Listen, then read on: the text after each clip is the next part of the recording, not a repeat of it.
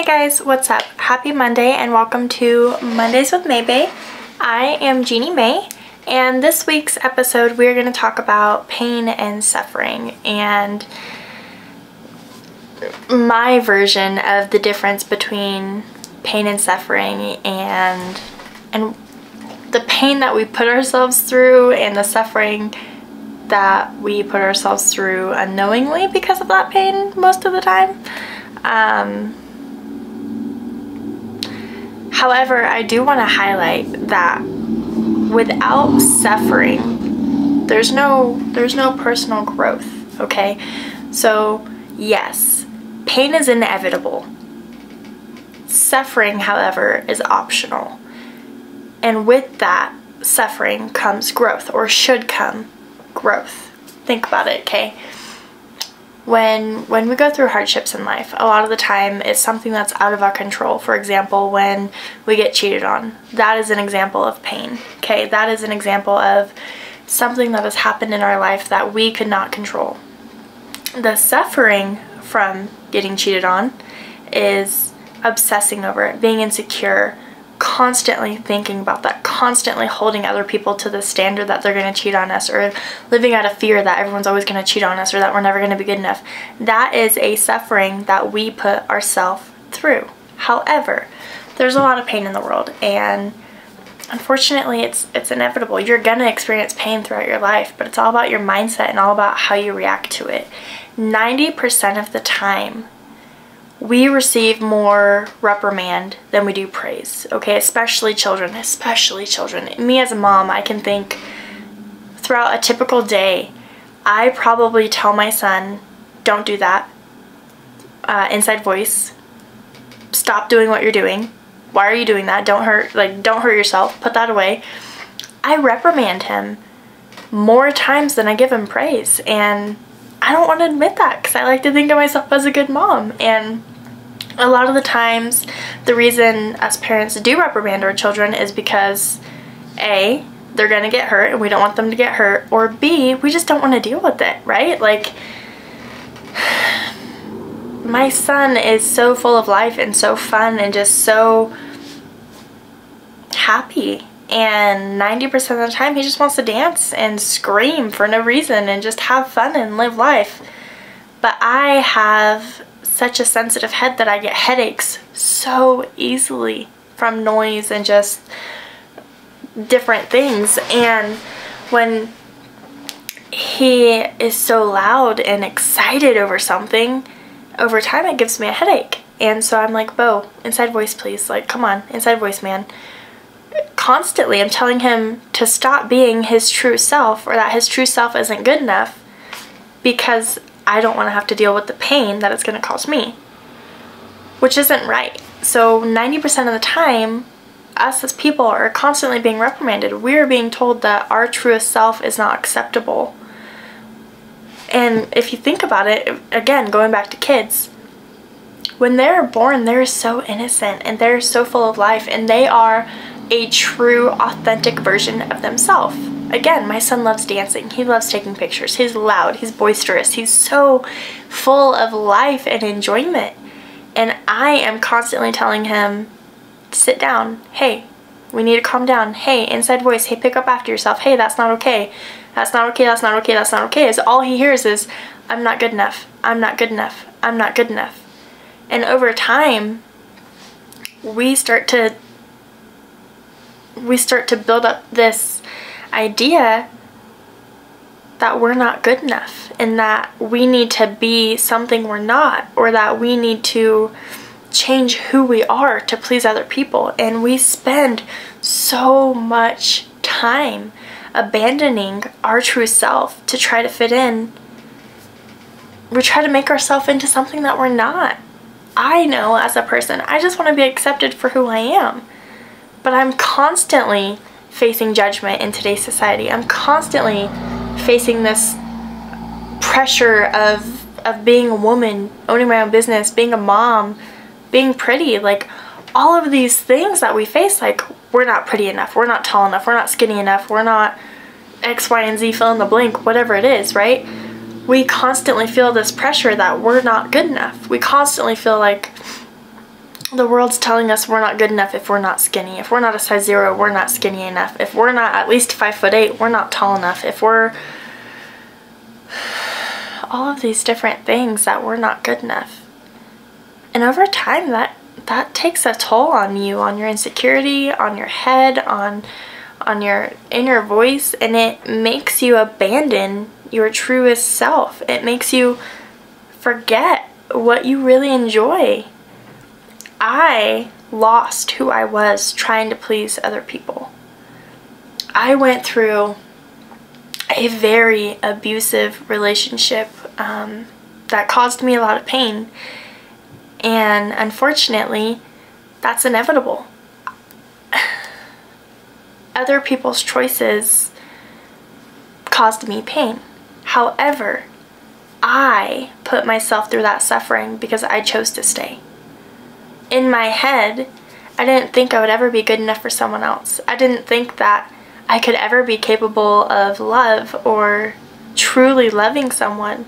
So I stayed in a very abusive relationship um, that's causing me a lot of a lot of issues down the road. Um, now it's been it's been 10 years since that abusive relationship has ended and I'm still dealing with side effects from it. I had my jaw broken. I had to get my jaw wired shut. Um, I still cannot open my mouth very far because of how I got my jaw wired. Um, he broke out six teeth in my mouth and I had um, veneers put in. I had implants put in and when they did it, it was done incorrectly. Um, it was kind of in a rush scenario, and and my jaw actually is in my bone is actually infected now, so I have to get them taken out and I have to get a denture put in, and and that messes with my self-image so much because as a woman, I feel like I'm not acceptable, I'm not good enough if I don't have this perfect smile, if I have something wrong with me I'm never going to be good enough. I'm never going to be accepted. But the reality is, you can't allow that pain that you went through to continue to cause you suffering. Yes, I went through something so traumatic that no one should ever have to go through. Abuse is not okay, whether it's physical, mental, emotional, it is not okay. So I want to right now say if you are in any kind of a relationship that is abusive, physically, mentally, emotionally, get out. It is not okay. You deserve more than that. Second of all, don't continue to cause yourself suffering. Yes, there is pain involved, but that doesn't mean that you have to keep suffering. It's been 10 years. Mentally, I still have night terrors because of it.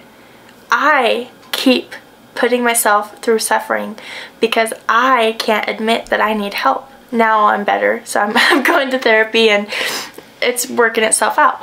But I keep putting myself through this suffering saying you're not going to be good enough, you're not going to be good enough, you're not going to be good enough. When the reality is I'm perfect just the way I am. I went through an event and it changed me. I lost sight of who I was. But here I am 10 years later, finally strong enough to come in front of a camera and tell you guys that these are not my real teeth, these are fake. and that is one of my biggest insecurities. And here I am in front of a camera, in front of all of you people telling you that because I want to be raw and I want to be real. And in order for me to grow, I have to step out of my comfort zone and I have to say, hey, I'm not perfect. I might seem like I have a perfect life, that everything's all put together, but it's not. I struggle financially. I have mental issues. I have physical issues that I'm working through, okay? I'm not perfect. No one, no one is. And that's the reality of it. That's the beauty of it. That is what makes each one of us unique, okay? 90% of the time when you see someone work and work and work and work and work and become successful and end up committing suicide, right? We hear about all of those success stories where people climb the tallest mountain and get all these riches and wealth and fame and X, Y, and Z, and then they kill themselves because they thought that they could fill that void with all of this money, all of this wealth, all of this fame, and the reality is they just couldn't live with themselves any longer.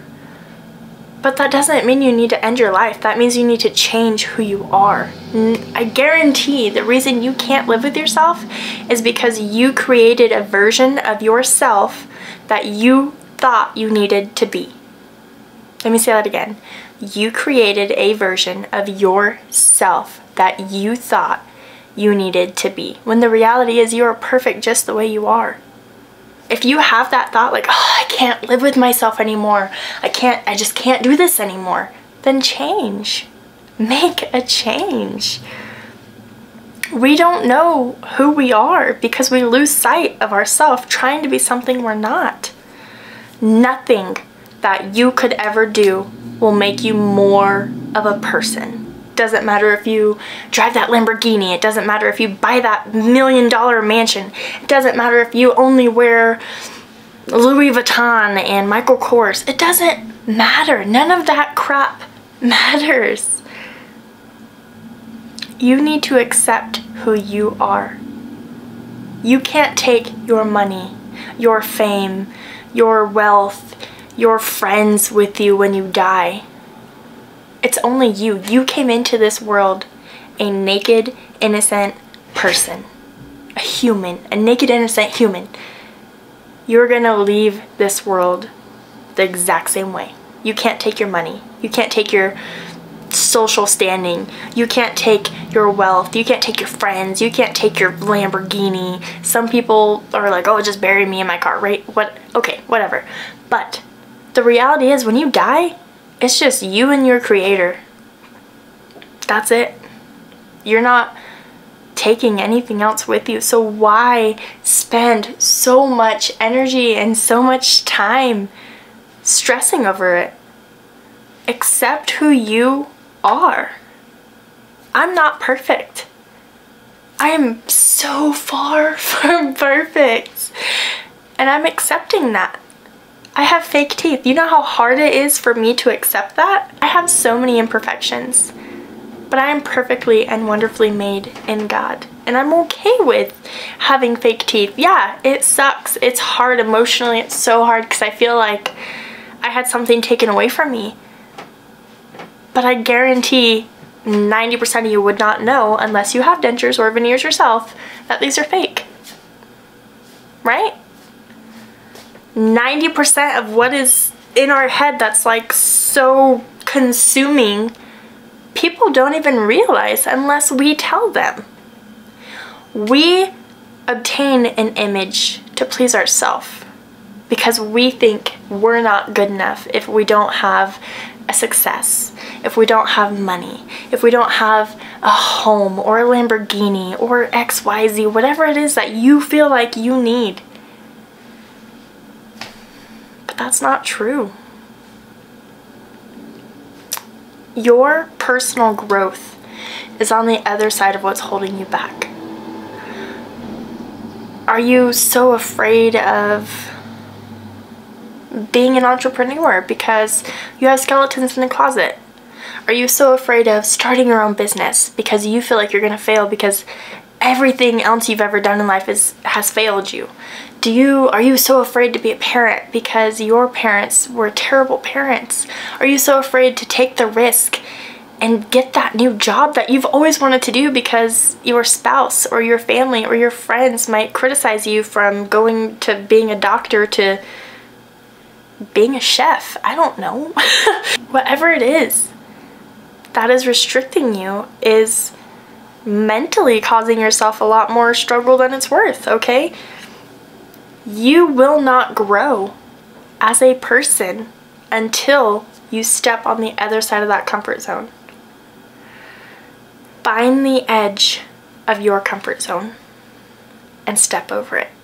For me, it was being an entrepreneur. Like, yes, I love being in front of people. I love speaking. I've been modeling for years. I'm I'm good at it. Like I know I'm I know how to talk to people. I know I have an image. I know I can be articulate. Like I, I know all these different things, okay? But I don't think I'm smart. I've gone to college, I have a degree. I don't feel like I'm smart because I've been told my entire life that I'm not smart.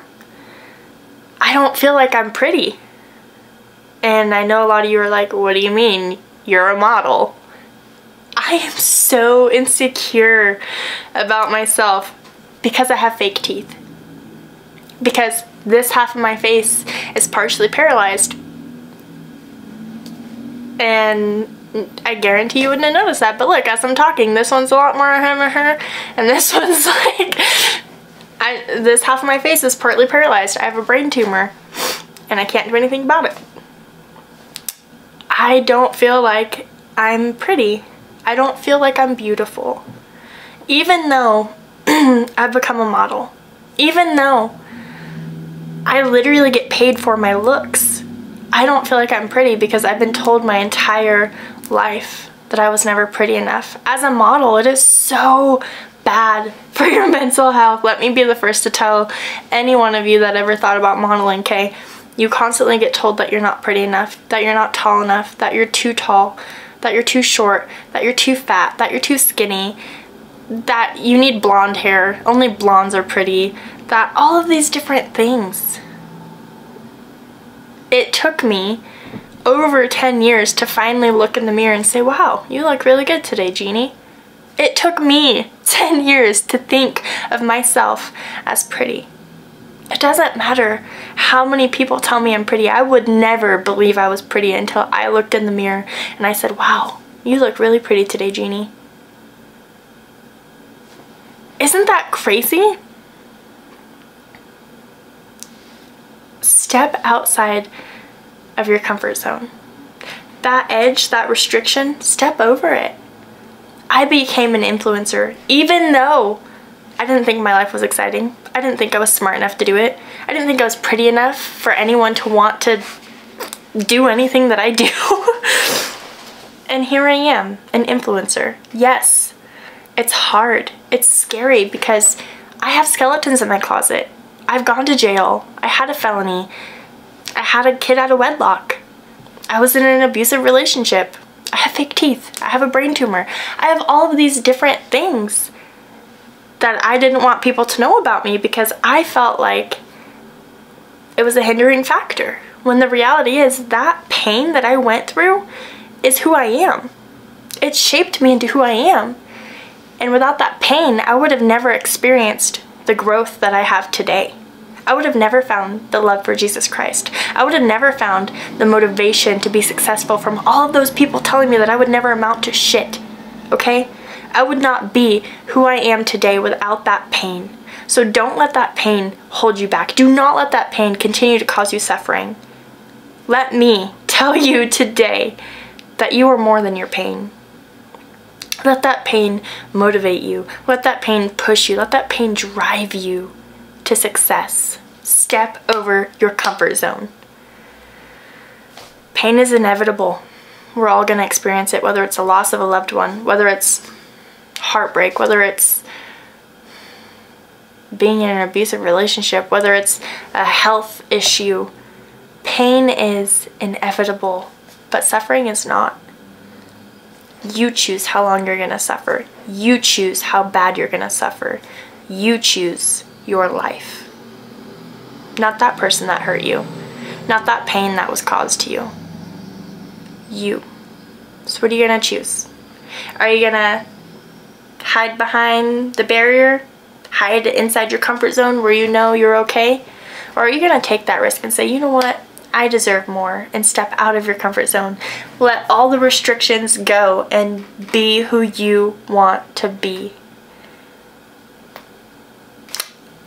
if I can do it with so many health issues, so much baggage, so much trauma that I've gone through, and still sit here in front of you with a smiling face, preaching how incredible God is, telling you all about my life story, and people still want to listen to me and still subscribe and still follow me, then you can do it too. I'm not saying be an entrepreneur. I'm saying whatever you want to do, do it. Life's too short not to try. Life's too short not to take that risk. If you want to grow, you need to develop healthy habits. And part of that healthy habit is just doing it. Set a goal, okay? Set a goal for 30 days. For me, I didn't feel pretty enough. So I did a skincare routine for 30 days, every morning and every night. And then my skin started feeling lighter and I started feeling prettier and I didn't feel like I needed makeup all the time. And I was like, wow, I'm actually kind of pretty. Okay, this is cool. But it took me to develop a habit for 30 days for me to look in the mirror and say, wow, Jeannie, you actually look really pretty. Go to the gym for 30 days. If you don't feel fit enough or if that's not in your comfort zone, go to the gym for 30 days. If you want to expand your knowledge, read every day for 30 days. If you want to eat healthier, cook homemade meals every day for 30 days. You would be so surprised at what can be created from that habit.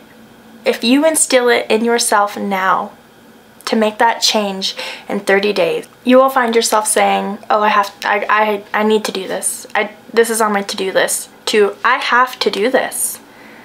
Things that you didn't want to do becomes things that you do anyways. I don't want to go to the gym every day, but I go to the gym every day because I know my future self will thank me for it. I will feel better. I will feel healthier. I can keep up with my son. I can go do things and not be as winded. I will look in the mirror and say, wow, Jeannie, you look really good. Do things to better your mental health. Don't continue yourself to suffer and whatever that may look like, I know I kind of focused on like health and beauty and whatnot, but whatever that looks like, if it's your job, if it's your family, anything, step outside of your comfort zone. If you are doing something to please someone else, take a look at yourself and say, this isn't who I am. What makes me happy? Who am I? If you have come to this point where you lost yourself, I lost myself in my previous marriage trying to please someone, being something I wasn't. I'm not that perfect stay-at-home wife that just bends over backwards and does whatever my husband wants. I have ambitions, I have goals, I have dreams, and quite frankly, I just wasn't ready to get married. So it didn't work out. But I lost myself trying to be something that someone else wanted me to be. It took me years, years after my divorce for me to say, you know what, I actually really like hiking. I really like kayaking. I like cooking. I like going to church. I didn't know what I liked. I knew what we liked as a couple. I didn't know what I liked. Don't allow yourself to lose your raw, authentic self trying to please other people. Don't allow all of that pain to allow you to lose yourself. Don't allow the reprimand of today's society to make you forget who you are. Yeah, society is constantly going to tell you that you're not enough. But stand up and say, yes, I am. Because you are. God made you the way you are for a reason. You are beautifully and wonderfully made. Take it from a fashion model that has health issues, that's been beaten to hell and back, that doesn't even have real teeth, okay? These are fake. That's half paralyzed. My face is not equal but I'm still doing it. I'm still living my dream because I have the courage to stand up and say, I am enough. You are enough. And together we can do this. Okay? That's all I'm to leave you with today. Pain is inevitable, but suffering is not. So why are you allowing yourself to continue to suffer when you don't need to? I hope you have an incredible day. I hope you have a fantastic week because it's Monday. It's a whole new week full of whole new opportunities. I am gonna enjoy my week as best as I can and I hope you do the same. Make a difference today. Get out there. Show that world your beautiful, raw, authentic self and, and just be you. That's it. Also, I will be starting a new Instagram. Um, my last Instagram got taken down for community guideline, community guideline violations. I don't know how because I don't do anything cool, but um, yeah, it got taken down. So I'm going to be starting a new uh, Instagram channel and I will post my links on my YouTube. I will also be doing more one-on-one -on -one coaching and motivational speaks on my True Fans. Um, so please go subscribe there, follow me. I would really appreciate the support. Um, no, I don't post anything vulgar, nude, graphic on there, so not your typical True Fans. Yes, I'm a model, so yes, I do have modeling on there, like lingerie modeling and whatnot, but nothing X-rated. Um, yeah, so I appreciate you guys. I appreciate you being here. I'm so glad that you're here today, and thank you for watching Mondays with Maybe. I'll catch you guys next Monday.